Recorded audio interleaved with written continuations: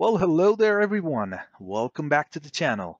Well, my dear viewers, today we're going to discuss how to release emails from the PVO quarantine using REST API and Python, how to delete emails from the PVO quarantine using REST API and Python. So the two main focus areas are going to be releasing the emails and deleting the emails using a Python script using REST API. And we're not just going to stop there. We're going to jump to the GUI of the ESA and try to do the same from there. Well, after that, we're going to check the logs. We're going to see what do we find in the logs when we release the emails and when we delete the emails. And apart from that, the other agenda of this video is that you start with liking the video and subscribing to the channel. Well, let's jump right into it. Well, this is the script I was talking about. Well, it's almost similar to the script we used in the last video. Okay, let's check it out. Importing requests, importing JSON, pprint, optional. Uh, getPass, uh, optional. Base64, optional. Time, optional. Okay, a lot of uh, the optional stuff that actually makes this program look nice. So you should try to import these. Apart from that, we set up the URL. This is going to be the base URL. So I'm not asking for the IP. Uh, I'm not asking for the IP address of the ESA from the user, well, you can uh, make that dynamic as well. In this case, I've done it statically. Okay, anyways, mid count, I'm trying to get the limit from the user to understand how many emails does the user want to release or delete from the quarantine. Okay, the next function is fetching the MIDs itself. So you know, for example, there are there's MID number 5236, the other one 5243, 5299, and whatever. And you're gonna fetch all those MIDs from there so you can work on them. So this function actually does that. Now, after that, we're gonna fetch the quarantine name to understand from which PVO quarantine do you do you want to actually uh, release the emails or delete the emails. That's what this function does. Okay, and then coming to the major difference between the release and the delete. When we talk about release, the payload for release contains this one extra line, which says action is release. Okay. Apart from that, we have mids to which we assign the mids that we were able to fetch from the user right there, and the quarantine name from which we want to release or, uh, well, in this case, release the emails.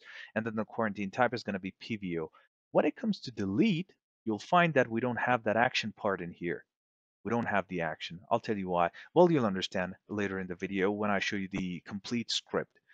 Okay, so this contains three parts. This contains four parts. The rest of the three are exactly the same. So it's the same as we discussed above. Okay, then fetching the username and the password. So we're going to ask the user in this case for the username and the password. Okay, after that, we're going to set the headers so that the username and the password that we got from there, so we'll just pass it into the headers and the cookie. We've discussed it in the previous videos. You can check those out. Okay, the conversion is important. So basically, you're going to convert it to base64 format uh, right here, the basic authentication. Okay, well, this is something, this is how you do it. You can, I'll just put it uh, down in the description. I'll put the whole script there. So you can just copy paste this stuff. Okay, after that, coming to the execution of the release and the delete. This is where the major uh, major action happens. Okay, now executing the release. The difference, the major difference is post. We're doing a post call here, and we're doing a delete call in the delete. Okay, that's why we don't see the action there.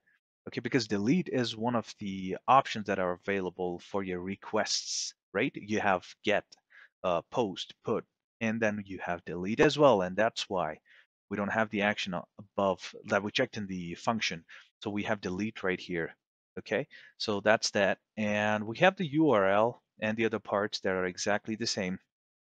And uh, there's no difference in here as well. So I don't want to make uh, any changes. I did not make any changes because I'm doing a couple of checks here to make sure if the user uh, didn't uh, did not uh, enter any MID or the limit was incorrect, then you know this actually takes care of that.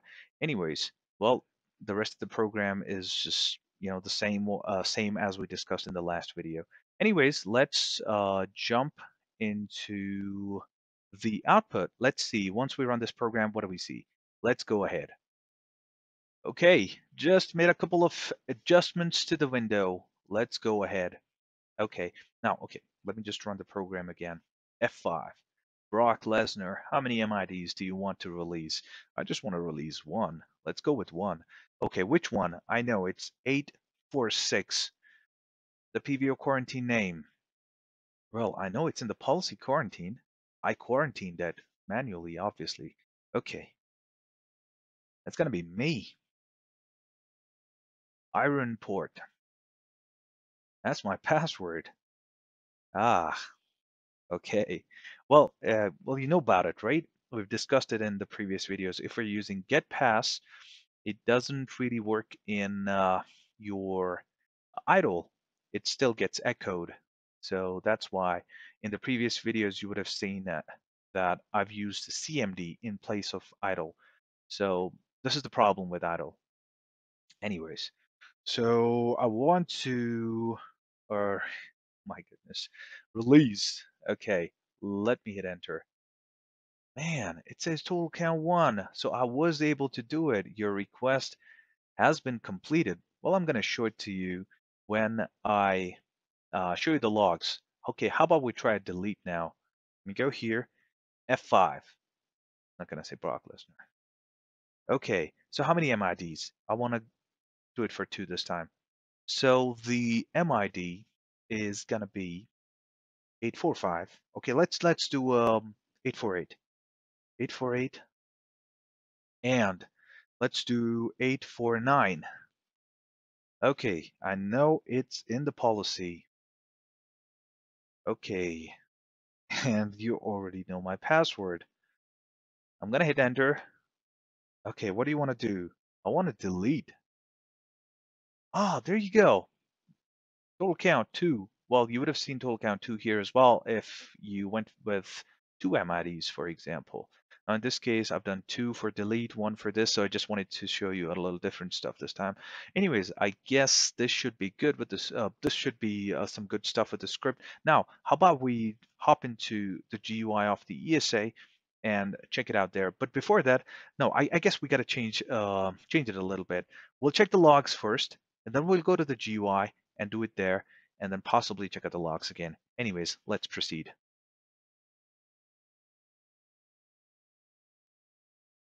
Okay, so this is what we see in the logs. What do we have here? Release that we did for one MID 846, and then we did the delete for two MIDs 848 and 849. And this is where I've actually quarantined all these emails to check it out. So this is actually running live right now. So I just want to quarantine a couple more emails. Let me send it across so I'm grabbing only this part of information. So I won't see all those logs in the, of the mail logs, like everything from the connection to all the filters and everything. So I'll just check this one line. There you go. I just uh, sent two more emails. Let me send one more. And this is it. I'm going to use these MIDs possibly in this video or later after that. Anyways, let's jump to the ESA GUI. Okay, so from the ESA GUI, we go to monitor and then we scroll down and we go to policy, virus, and outbreak quarantines. We click on it and this is the page we're going to land on. Okay, now if we click on the name of the quarantine, we'll uh, get into the window where we'll uh, have the configuration options for this quarantine. Now we, do, we don't want to do that. We actually want to release and delete emails. So we'll click on this number right here under messages. We'll click on this number. And once we click on it, we see all this stuff in here. Wow. Okay, I just quarantined all these messages right now. Okay, anyways, now what I'm going to do is I'm going to select a couple of, of these emails and I'm going to say release. So I confirm. Go ahead and release these. Now, I'm going to try to delete well, that's pretty much it. Literally, we've we're done releasing the emails.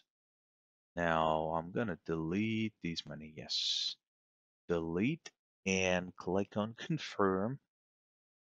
And let's quickly check what do we see in the logs. You see we got only these many emails left in the quarantine queue now.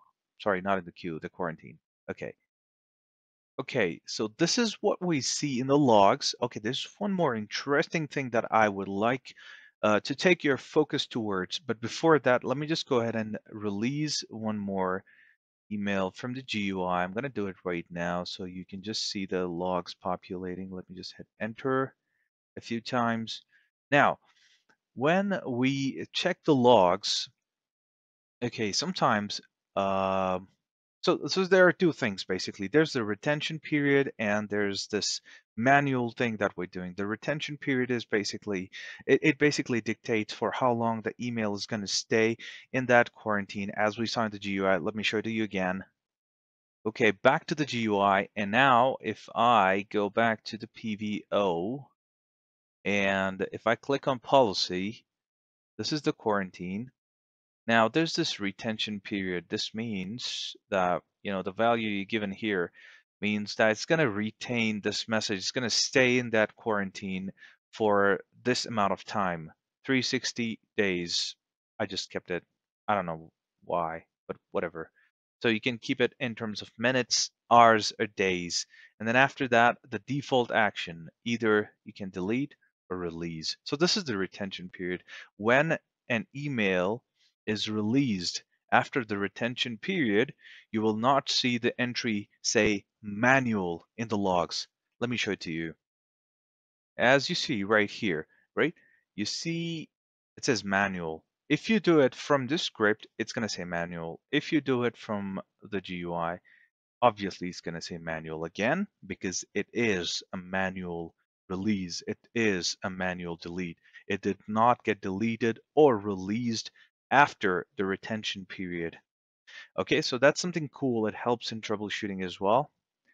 Uh, well, okay, the purpose of this video has been achieved. We're able to understand how to release and delete emails from the PVO using the script and from the GUI as well. Now, the final thing that is that might be missing right now is you liking the video and subscribing to the channel. Well, that's it for today. Thank you so much for watching the video. Goodbye.